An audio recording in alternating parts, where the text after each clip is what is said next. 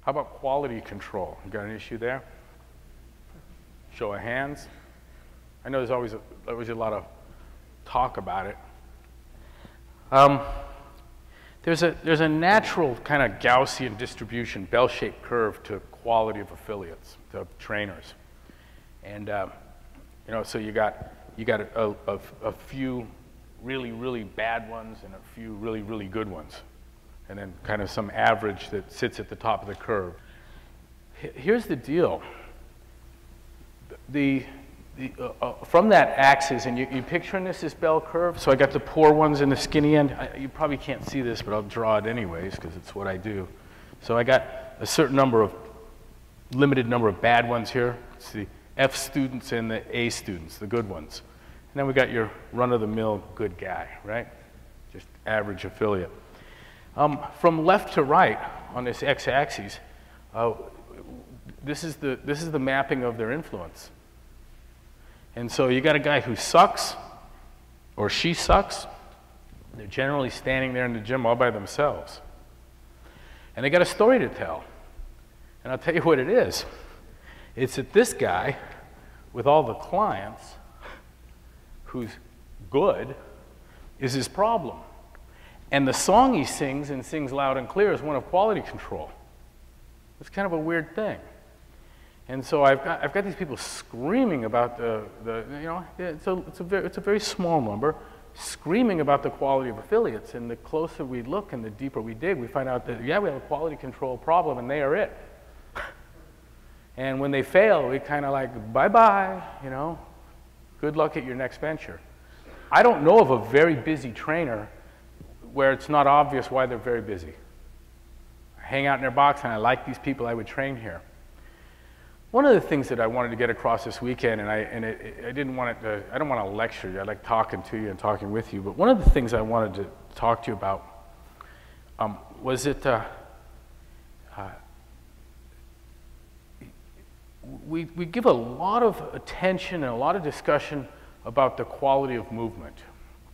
And I'm here to tell you that that's not what makes or breaks a trainer and it's not what determines a good one or a bad one necessarily. It's, it's, it, it's, it's not one of the major factors. It really isn't.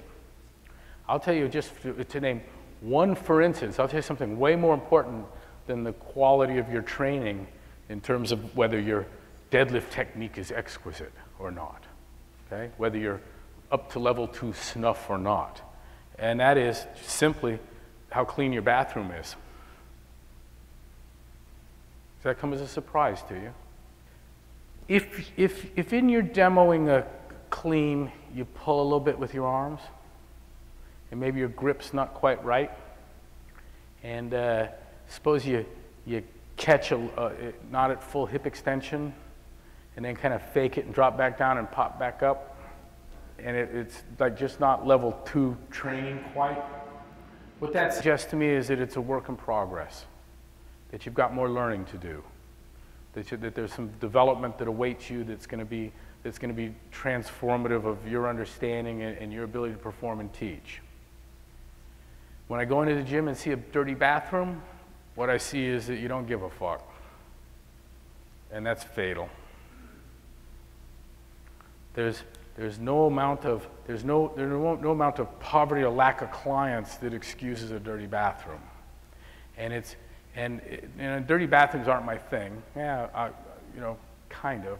But, but I want you to understand that it's, it's a symbol for something more important than the bathroom. And that is for how much you care. For how much you care. And I can fix, I can fix bad training. I can't fix you don't care. I can't give you pride where you don't have it. That I, that I don't know how to do. But I can straighten out that pull in with the fucking arms, and pretty quick. And so, really, all you need to bring to the game is a love of the client, a lot of pride, a profound commitment, and that manifests in a clean floor, a clean bathroom, being there on time, loving your clients, getting to know them, getting, getting into their hearts and souls, becoming, becoming friends with them. And I, and I can see it right when I walk through the door, I know. Cool thing, uh, it, what I'm telling you is it's really easy. Once you care, once you're fully committed, the rest will fall into place, and it's just a matter of time. And every time I come visit you, your movement patterns and, your, and the movement patterns of your, of your charges will look better and better and better. Let me tell you something else a dirty bathroom will do. It will scare off the most important clients to your business. Now, can you run a thriving gym with a dirty bathroom? Oh, hell yeah. I tell people you could shave your head bald and tattoo a swastika on your forehead and get clients. I also know what your clients will look like. Not my cup of tea, but I'm, I'm sure it could be done. But here's what a dirty bathroom will do for you. All those people in your community that are hugely influential and have the means to support you in your efforts will not want to come around. I got a shocker for you.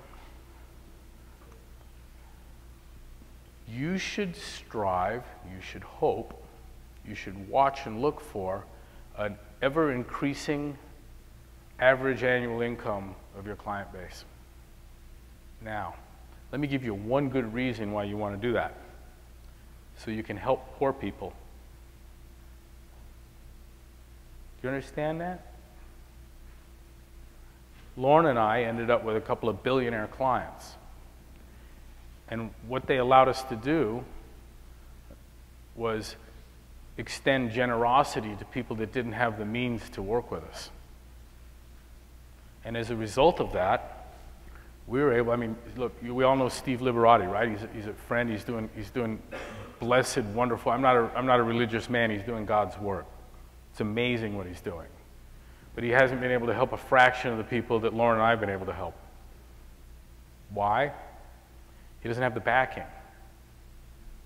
When we give scholarships, we call them, for training, for, for seminars, for the journal, that's coming, on, that's coming because of the generosity of the people that have means that have come into our lives.